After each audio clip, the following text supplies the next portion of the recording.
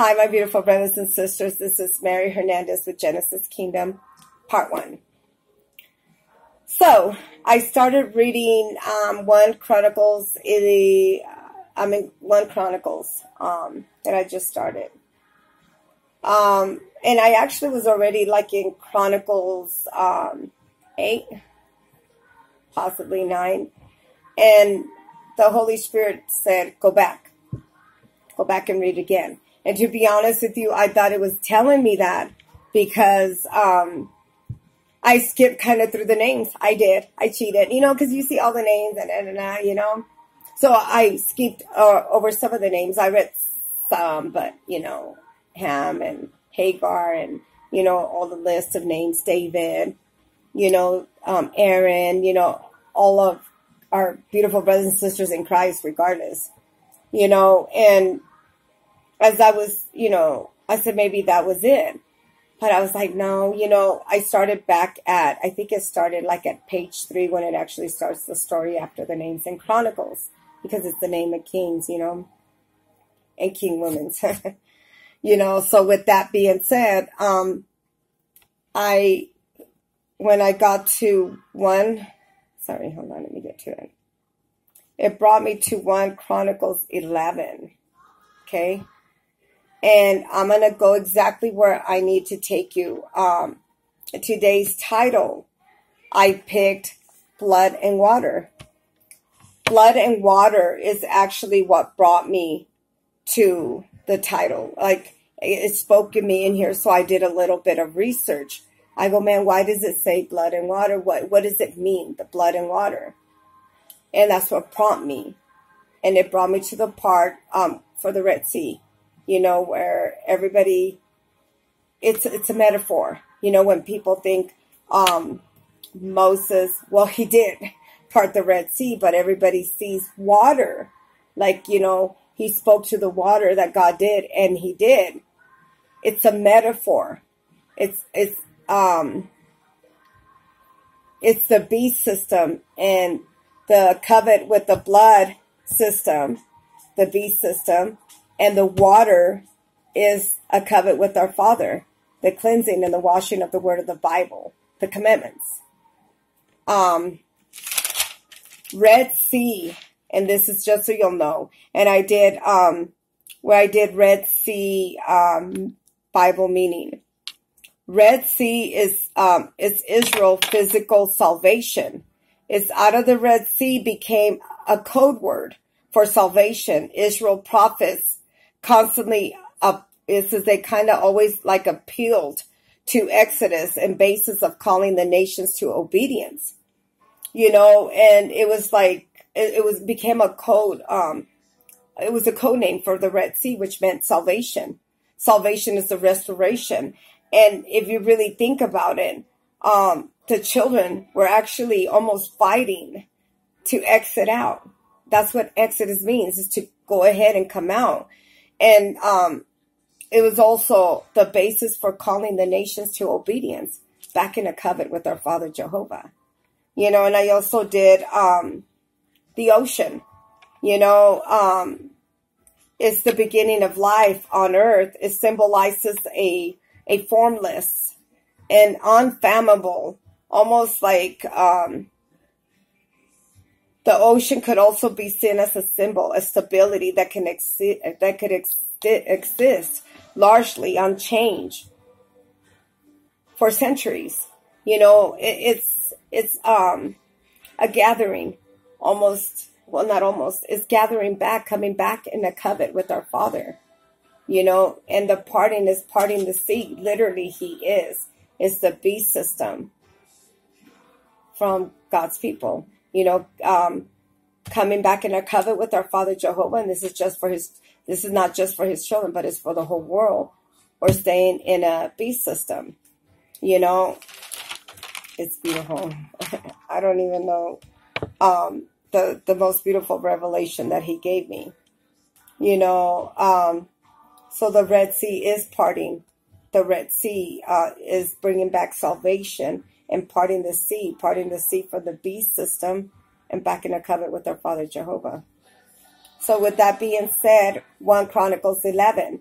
And David longed and said, That one that would give me a drink of water of the well of Bethlehem, that is at the gate, right? And the three break through the host of the Philistines, and they drew water out of the well of Bethlehem.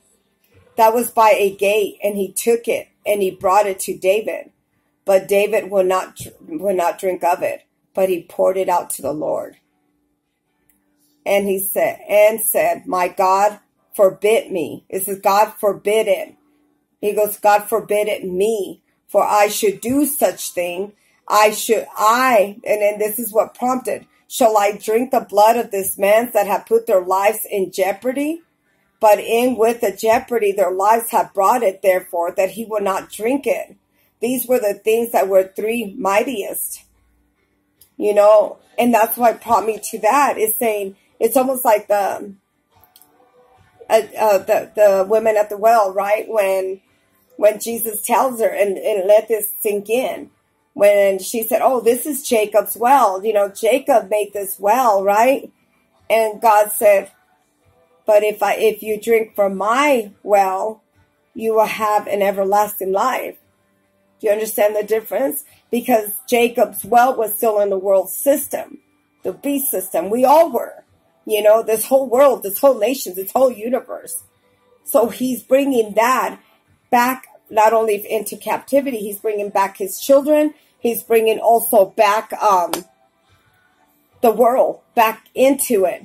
You know, as we exit out, we exit into the land of the living with the God of the living, not the God of the dead, you know? And this is a reconciliation with God. And as we exit out, we're not going to see the ending of the darkness because we're not going to be part of the darkness. We're going to be part of the new heaven, the new earth. You know, so then now it also took me to Genesis 1 17. Sorry. And this is just, remember how I was telling you, piece it together? So Genesis 1 17 through 19. Let me just get to it real quick. And let this sink in. This is like to kind of put a picture together what it means about parting the sea, the blood and the water. And that's what it means, how he parted the sea. And it's in here. And this is exactly what pieces us together. So Genesis 1, um, if I believe so, just so you'll know in case you want to go back and look for it, um, is um, Genesis 1. It says, In the beginning, God created the heavens and the earth. Now the earth was formless, empty. Darkness was over the surface of the deep. The Spirit of God was hovering over the waters. And God said, Let there be light. And there was light. And God said the light was good. And He separated the light from darkness, from blood to water. And it's in here, it backs it up. But it, it says it's from light to water. It says there was light. So God saw the light was good and he separated the light from darkness. God called the light day and the darkness was called night. Oh, I'm sorry.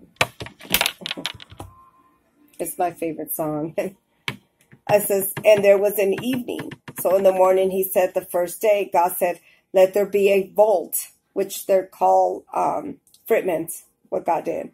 Skies, you know, like the heavens, right? That's what he created first, second, and third heaven. And God said, let there be a vault between waters to separate water from water. And God said, make the vault be separated, the water from under the vault and from the water above. And it was good. He called that vault sky. In the evening there was morning and on the second day. And God said, let the water, let the water under the sky be gathered in one place and let the dry ground appear as it is good. And God said, call the dry land, and it gathered waters, and he called it seas. Again, let me read that. And God said, let the water under the sky be gathered to one place, and let the dry ground appear. And it was so. God called the dry land and gathered the waters, and he called seas, and seas like a sea, S E A. And God saw that it was good. Then God said, let the land produce vegetation, seed bearing plants and trees of the land to bear fruit of the sea according to various kinds. It says, and it was so. So the land produced vegetation, plants bearing seed according to the kinds, and trees bearing fruit, the sea according to the kinds. That God saw that it was good. And it was the evening, and then it was called the third day. It says, and then God said, Let the lights of the vault of the sky separate the day from night. Let them serve the signs and mark scared times, the days and years. Let the lights be volt and the sky be give light in the earth, and it will be so. God made two great lights, greater light to govern the day, and lesser light to govern the night.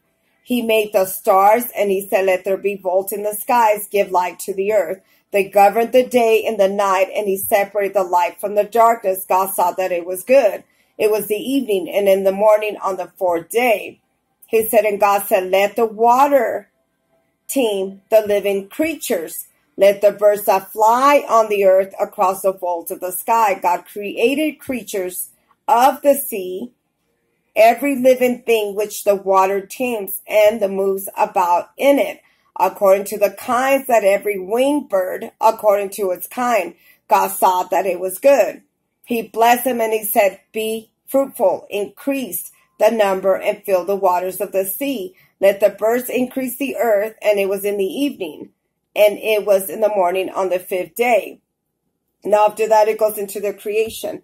So you'll know from the very beginning, the creator was the one that made everything. It was him. It was even before. And you, you see it from the very beginning. He created everything and he said, Let, let's part this, let's part this sea, let's part that sea.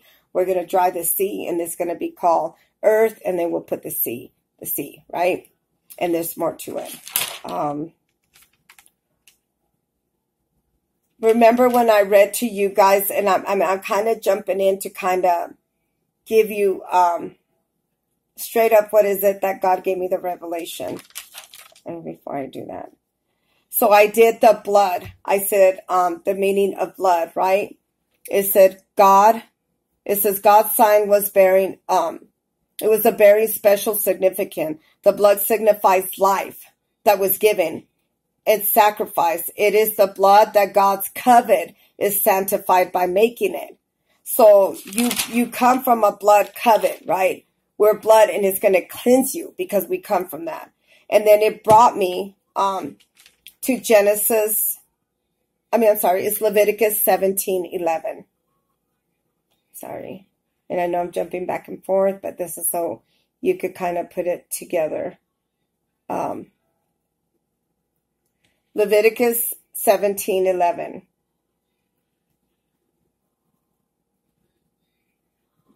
It says, For the life of the flesh is blood. I given it to you upon the altar to make an atonement for your souls. For the blood is he. It says, For the blood is that that maketh an atonement for the soul. So you're saving your soul from coming from a blood covet and you come to life. So you're bringing that to the altar to save your soul. It's, it's like I was just saying, Noah's Ark. What is it that you're bringing? Who bringing on your boat with you? And this is coming from the blood and separating the blood from the water. That's what it is. From the demonic system, which is in. And then, believe it or not, I Googled cosmos.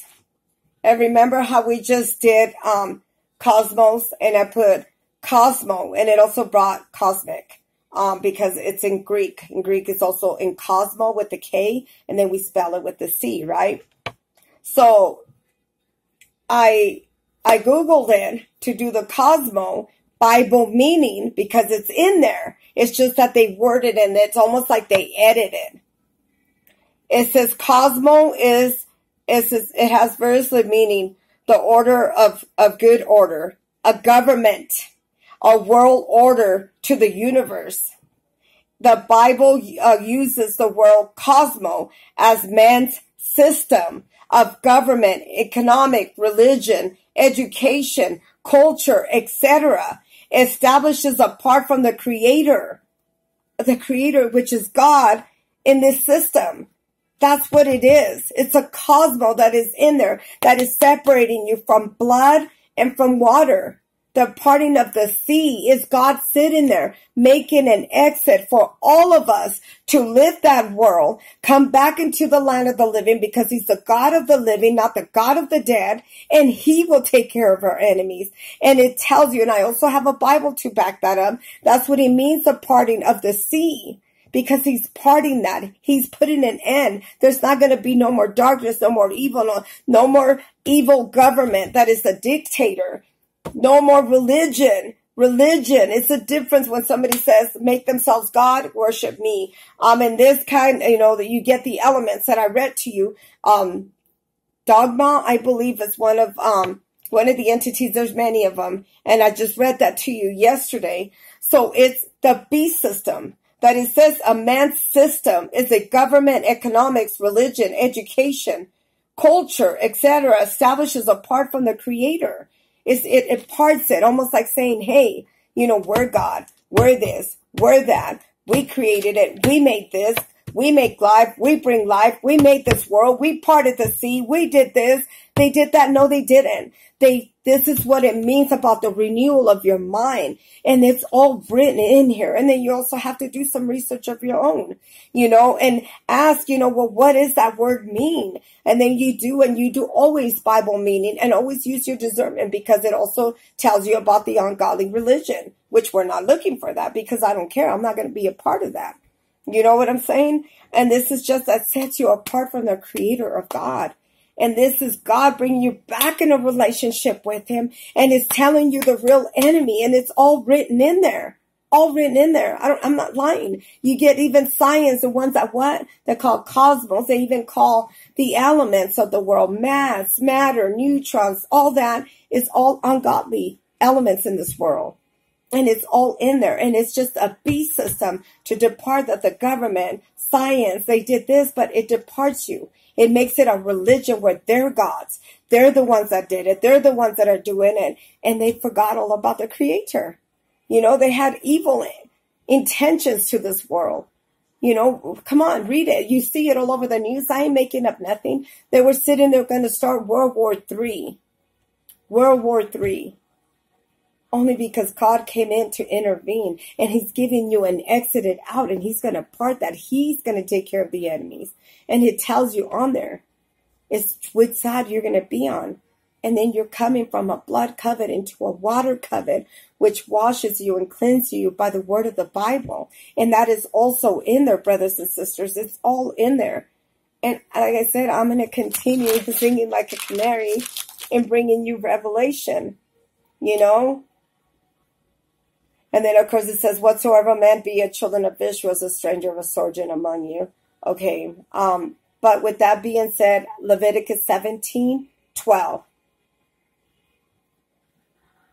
I'm sorry. Is Leviticus, actually, I could read that to you.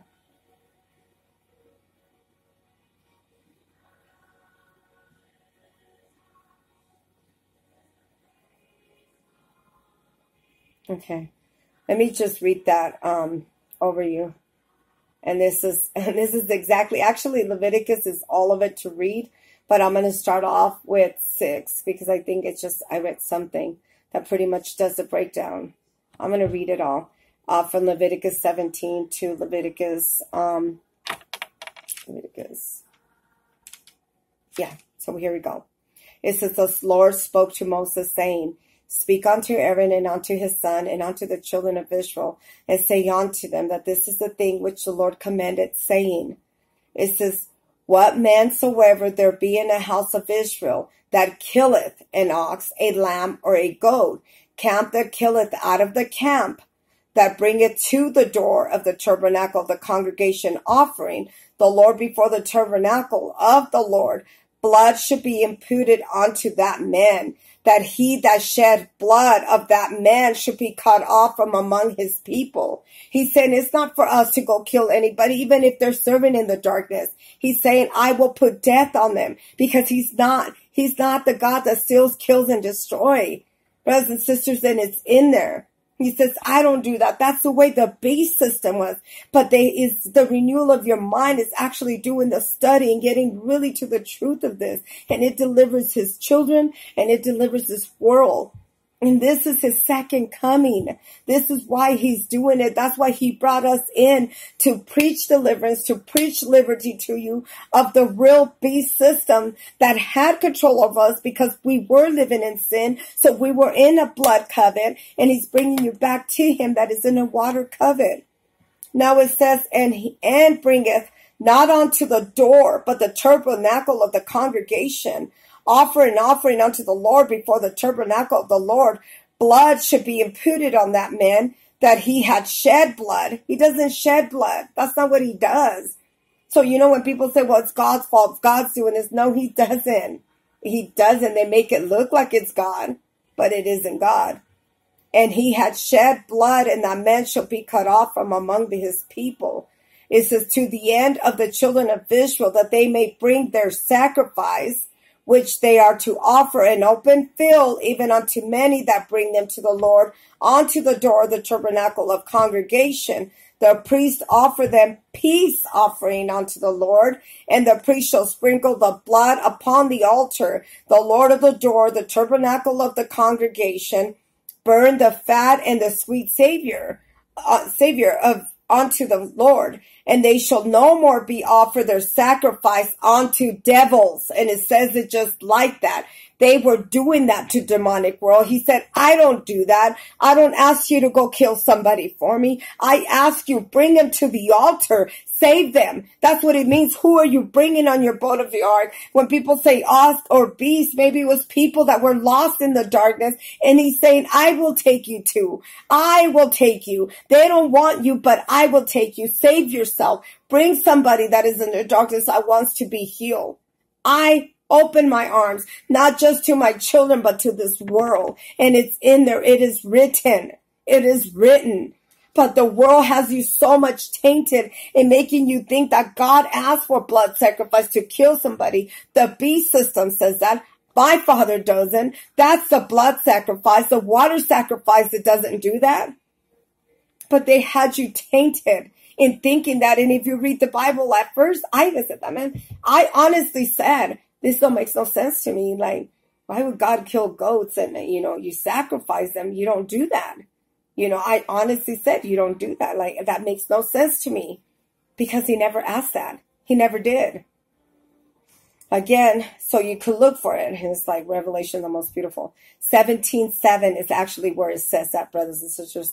And they shall no more offer their sacrifices unto devils, after whom they have gone a whoring around, whoring, that they shall be a statue for every unto them throughout their generations. Because they were doing that. They were doing what was Solomon doing? What were the all daughters, all of us, we were out there sinning. I didn't know. And I'm gonna be honest with you. And I lived in the biggest condemnation is that mix. And I even said, man, it's my my ex you know, the, the one I had three kids with, you know, it almost like makes you question like, oh my God, you know, like I am so sorry, you know, but I lived like that because I was living under condemnation and I had to embrace that and know that I had been forgiven. And so have you, all of you, each and one of you from the riches there is in this world. Ask God for repentance, repent from sin, don't seek the things of the world let it go. Surrender yourself. Bring to the altar. Go to church. Bring your family. Ask them to repent from sins. Get baptized. Have no idols. Have them if they sit there and they try to bring you the prettiest woman there is in this world or man, do not give in to it because hate, Satan is fighting for your soul and that end is coming. Don't be on that side. And those shall say unto me, Whatsoever there is in the house of Israel of strangers which sojourn among you, offered a burnt offerings or sacrifice, bring it unto the door of the tabernacle of the congregation, offered unto the Lord, even a man shall be cut off from among his people. Whatsoever man be of the house of Israel, stranger sojourn among you, that eateth any manner of blood. He said, I don't do that. You know, it says, and will be cut off from among his people. See, if you're doing that, you know, they, they sit there and they kill people and they eat them. And that's in there. The blood sacrifices the demonic world does. My father doesn't. For the life of the flesh is in the blood. I have given it to you upon the altar. So it's your blood, your blood, you come from a blood and you bring it into the altar and it turns to life. And it tells you that in there. It says, I have given it to you upon the altar. Make an atonement for your souls. Saying, here, this is what I have to offer. I'm sorry. I'm coming back and he will restore that light in you, your soul back in you that I said unto you, you know, because Satan had it, but it's going to be restored back to you because it's handed back to you. Wake up, wake up. It says there should also, it says the blood will make it an atonement for the soul. Therefore I said unto you, children of Israel, no soul of you shall eat any blood, neither shall any stranger that sojourn among you eat any blood. That means anybody that is a demonic entity, you know, that do not go around them. Do not go out there and mesh with them because they were going out there eating meat. That means they were whoring around. The man and the woman, everybody was. We all were. And um, it says, and cast, it says, and whatsoever a man there be out of the children of Israel, out of the strangers that sojourn among you, that you hunteth and catcheth any beast, any beast or fowl, they may be eaten. But he says, even pour out the blood thereof, cover it with dust. If it is life of all flesh, the blood of it, it is life thereof. Therefore I say to the children of Israel, you should eat the blood you shall, you shall eat the blood of no manner of flesh, for the life of all the flesh is blood thereof. Whatsoever eateth will be cut off. He said, I don't do that. I will cut you off. You know, that's the beast system that does it. And every soul that eateth, which dieth itself, which is torn with the beast, whether it be one of your own country or strangers, shall both wash his clothes and bathe himself in water and be unclean, even that it shall be clean, and be washed with them not that bathe in flesh, that he shall bear his iniquity. Isn't that amazing revelation? Like, like to get that most beautiful revelation is the most beautiful gift there is because that makes you understand. It makes me understand the Bible. It makes me understand the high calling and I understand what he chose me, you know, and I'm so glad he did. Yes, I, I suffered much, but he did say, take up that cross and walk. He didn't say it was going to be easy. He said, in me, you will have peace, but in the world, you will have tribulations, but be a good cheer because I have overcome the world. You know, I'm not going to say it wasn't hard. It was hard, you know, got backed up to the corner, but I did not quit. Heavenly. So that's Leviticus um, 17, 11. So I'm going to jump into Genesis and then go a little bit more with the water, but this is all in there. You know, um, did the research on Cosmo, um, and I put Cosmo with a C uh, meaning, Bible meaning. That's also in the Bible, but they, you know how they have, you have NIV, KB, blah, blah, blah. They just word it different, but try to hide the Cosmo in there, but Cosmo's in there. So when I did Cosmo Bible meaning, ta-da, it, it said just like this. I wrote it word for word. It says the Bible was the world's cosmo as man's system because it's a beast system. It's a man the the world, the way they preach it, the way they say it. Actually, it, it, it actually have ovulation. You know, um, man's system of government, economics, religion, education, uh, culture, etc., establishes apart from the Creator of God. It's the system because it does. It makes you think it's all them. We did it. The government. I love you. We do this. We do that. You know, and separating you from God. That's what they were doing. The real creator of heaven and earth. And thank God that he's stepping in because and in the in the midst of him stepping in, he's having his children preach to you and bring you back in a relationship with him. And ta-da, we win. And it tells you on there. So I'm going to do part two um, of this amazing revelation that he gave me. Um, so have an amazing Friday. We'll see you in a few. Give me time to post it. Um, and shalom, shalom.